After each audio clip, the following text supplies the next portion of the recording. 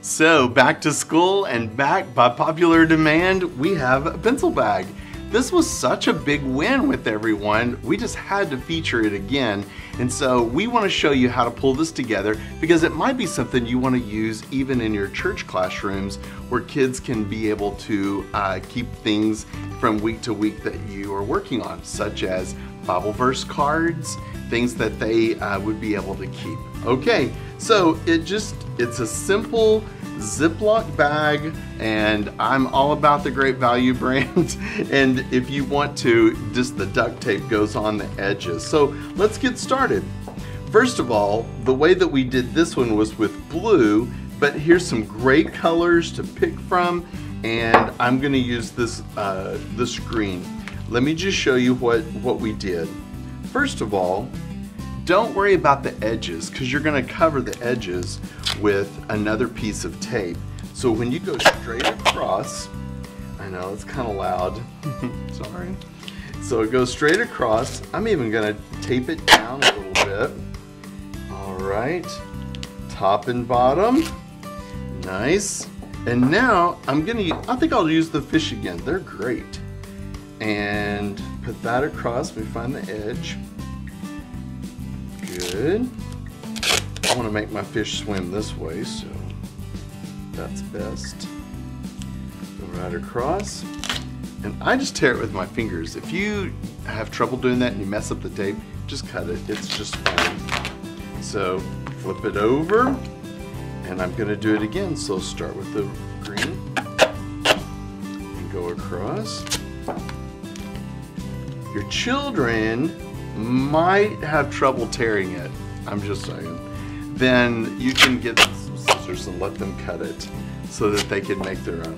It really is quick to make. All right, right across. And now the fish. Great. Okay. Super sticky. Stick that on. Great. Now that I've got that finished, I'm gonna come back with my scissors and trim the edge. So I can see really easily the edge of the bag by pressing it right there. Might be hard to see on the camera, but I want you to, to know there is a line to follow.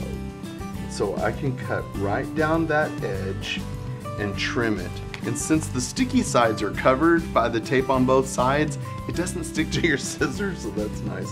Let me press that out so I can see the edge of the bag. Super easy. Good. And now across. Very good. Now, there are some adventurous people like Matt who went ahead and used pieces of tape to decorate. And I really like the edge that uh, is added to each side. So let's go ahead and add that edge too, because that's pretty cool. And this is cool tape. So it's about that long. And I'm gonna go ahead, I know this is crazy, but I'm just gonna rip it down the middle because it tears so easy and add it to each side, fold it over, just like that. And then I can trim it again. It's super easy to do.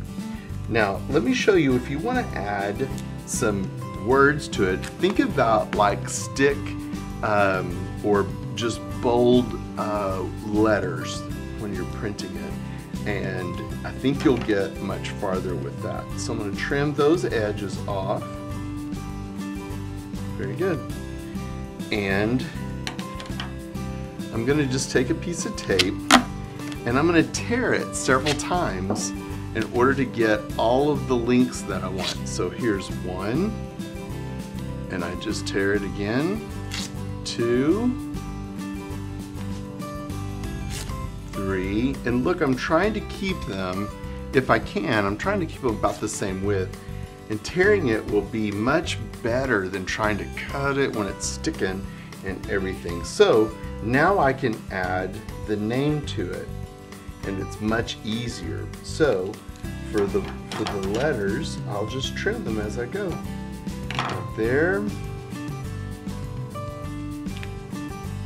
Here. I know your children won't be quite this fast, but I just wanted you to see that it's doable if you want to do that. So,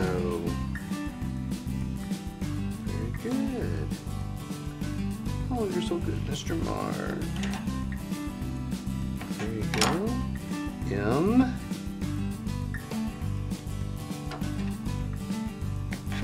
Oh, there's just enough there to make the crossbar of the A. Works out good for me. Great. So you get the idea of using the tape strips to make your letters. And even like the R has a round part, we can make a box out of that pretty easy. I think that it will work just fine.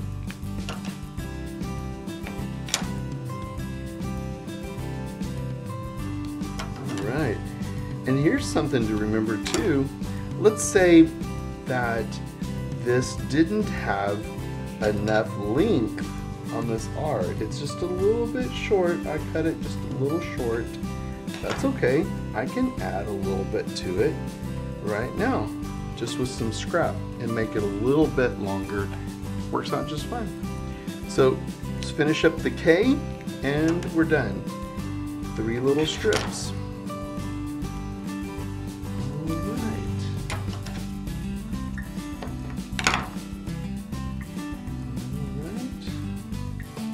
Here's